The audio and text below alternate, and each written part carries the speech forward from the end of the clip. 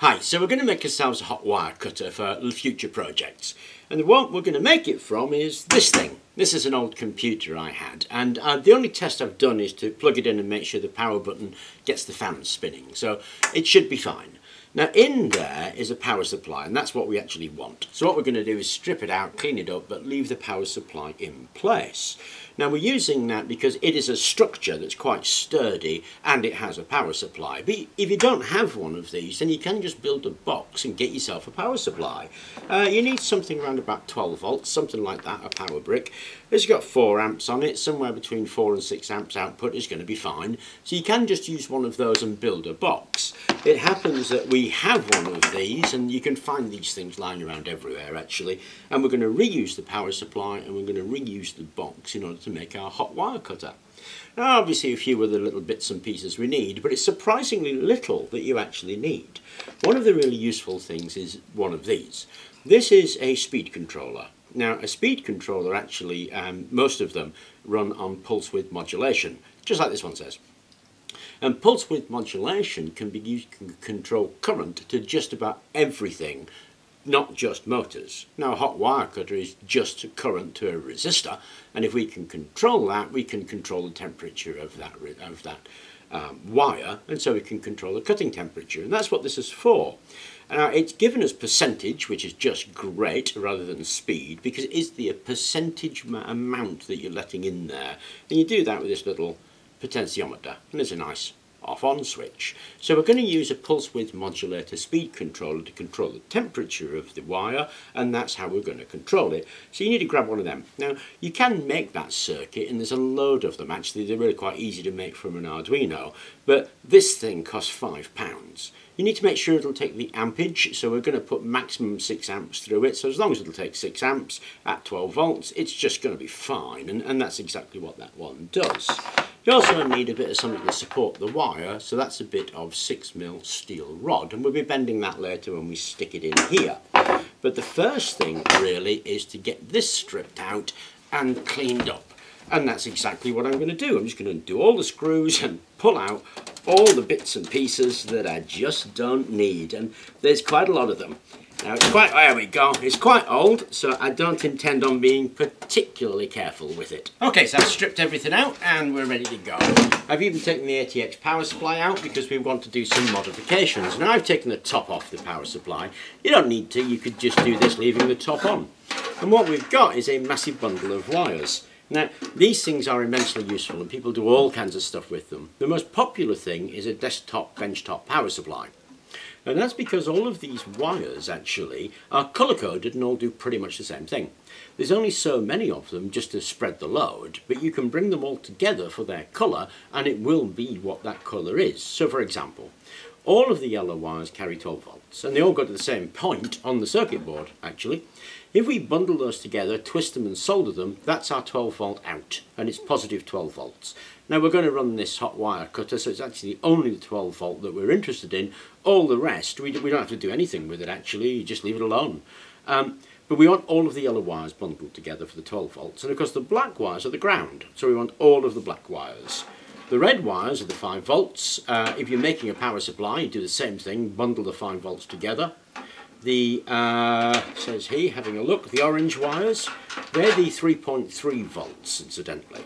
And that deals with all of those. And then we've got this block, which was the original pin connector. And it's pretty much the same story. You've got a load of orange, a load of red, a load of black, and a, a yellow. Those ones, again, we just bundle together with these same ones. And that'll leave you with a few weird coloured ones.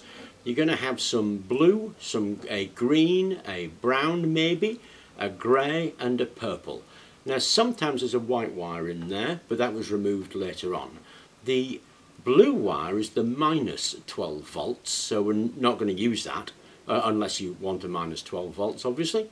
The brown wire is a 3.3 volt sense wire. You don't have to do anything with that, you just clip it in with all of the orange, other orange wires if you want your 3.3 volts out. We don't, so we're just going to ignore it.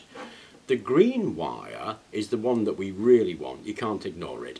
And that's the power on sense wire. What you have to do with that is uh, connect it to ground. So take one black wire, one green wire and just solder them together and then the power supply will turn on. If you don't do that it won't turn on. It is quite handy actually because um, this particular power supply has no on-off switch at the back. And as we're going to be making a hot wire cutter, we really don't want to be reaching one wire, turning it on. So we can use that to put a switch on the front so that we can flip that switch and it will start the power supply. Without that, it won't start. So it can be really handy to connect those just to a normal single pole, single throw switch and it becomes an on switch where you can put it anywhere you like. So the front is a nice place to put it. If you made it a contact switch, actually, it would also operate as a safety switch. Here we're just going to put a flip switch on the front and use that as our actual switch.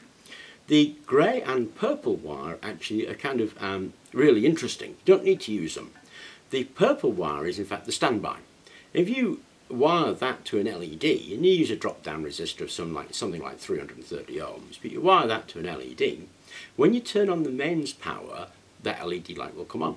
When you flip the wire that's uh, sent for the green sense wire, then this grey wire is the power good, so that will come on. So we can use that as light indicators on the front um, to tell us that we've got an actual supply to the box and that the box is actually on. If we flip the green wire switch off, then that grey wire will go off. So that can be really useful just as an indicator. Don't need to use them, but if you've got them, why not use them? So we'll probably wire a couple of LEDs to that so that we get a, an indication of the state of the machine. And, and that's it really. There's often a white wire, as I say, it's missing on this one so it doesn't matter. All we have to do is clip all of these open, so cut off the ends, clip out the ties, gather them together. The ones that you don't want, you can terminate and just leave dangling. The ones that you do want, then we're going to um, put that onto a proper termination so we can connect to it. And you can either clip those off, the ones that you don't want, and the board, or just terminate them and leave them. And that's exactly what we're going to do. So there you go, all back together, bundled up, snipped off, and it makes it much, much easier. That's obviously all of your neutrals, a nice black wire. There's your 12 volts, that's your 12 volt positive, the yellow. This one is going to be our on switch on the front and this is a couple of indicator lights to tell us the state of play. So that's probably the most difficult bit to do. As you can see all I've done is flip it over and put this little um, gibbet on I suppose. It looks like a hangman's gibbet doesn't it? I was going to use this stuff, 6mm rod and bend it into shape but to be honest I've got quite a lot of this lying around and I, I, just liked the look of it because, you know, with the Ali sort of case look, this seemed to fit. So all I did was that. Now, I did do something else because obviously what we do is we just suspend the heating wire from this point through a hole in here to the other connection point. That's all you do. But I want a little hook. Because it's all sort of metal, I don't think it really matters, but it just, I decided I wanted some insulation. So I took a power transistor now that's obviously a ceramic that will count, um, cope with the heat and give insulation. So I drilled a hole through there, bent the little feet over to make a hook, what soldered a wire to it, and that will just fasten on there like that. And then my wire will go onto that hook, straight down to a hole. I'm just going to drill the hole, make the other connection, wire it up, and we're done. Okay, so here's the underneath of it, and uh, really it is pretty simple stuff. There's the negative, there's the positive as we identified. I've soldered a wire to them. Same thing here, that's going to the control board. We'll have that in a minute. Returns back from the control board, and there it is, the live wire going up the gibbet that we put on. And there's the neutral wire connecting to this bolt. This bolt is just stuck through a piece of wood that's glued onto there. And there's the top end of a bolt there. There's a couple of washers. So we just wrap the wire around those washers and tighten that down. It's better if that's a wing nut, but I don't have one, so I'm just using a normal nut. And that's your connections, that's all there is to it. So once we've done that, we really can have a look at the faceplate. Okay, I'm going to um, put this back on, which is the original cover plate that came with it. So I cut a bit of alley that'll fit in where the CD drives used to go. And I put the speed controller that we're going to use as a temperature controller. There's the potentiostat and there's the on-off switch. And we're going to put a couple of LEDs in there. Those LEDs will show standby and power. Now remember, you don't need to do that. And if we fold that over, all those connections are just, um, the, the, potentiometer came connected and the um, back of the speed control tells you power and motor, so the motor goes to the heater in fact, and the power comes from the modified power supply that we've just done. And here are those three wires that we looked at. So the green and the black will go to the switch because that's the one that turns it on. We plug it in, give that switch on and it starts the ATX power supply. Now I've also saved the purple and the grey because remember there's uh, power good and standby. And one grey, one black, one purple, one black. So one grey, one black goes to one LED, one purple, one black goes to the other. And so we get a standby and a power good LED light. So we just have to solder those in with uh, somewhere between a 200 and a 400 ohm resistor and we're away.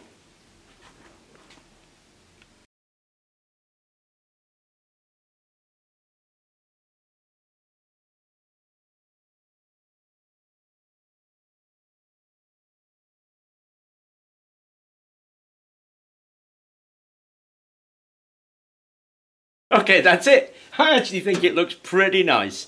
So you can see my little aluminium plate, mounted all that stuff there, and I've hung some Kanthal wire. Now you're supposed to have a spring here, and you have a spring because when the wire gets um, a bit hot it stretches and the spring takes up that stretch. I haven't got a spring, I'll get a spring sorted out for it later. I just wanted to give it a go basically. And you can see it's plugged in because the standby light is on and if we turn uh, that on there we go the power light is now on I've got this at 26% and it's busy heating that up I've got a bit of polystyrene foam and we can cut through that foam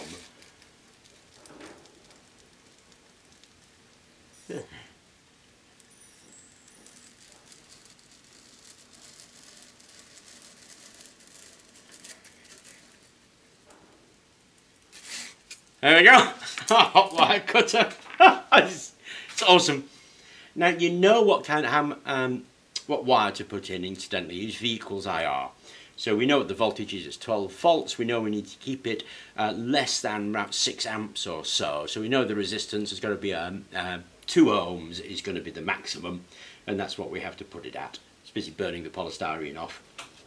We can twiddle the power up a little bit on this by turning that percentage. When we turn the percentage it'll get hotter, we turn it down it gets colder and we can use that extra power or lack of power to increase or decrease the temperature of the wire for cutting other things apart from polystyrene. Anyway, that's how you turn an old computer into a hot wire cutter. I hope you enjoyed the video and thank you very much for watching.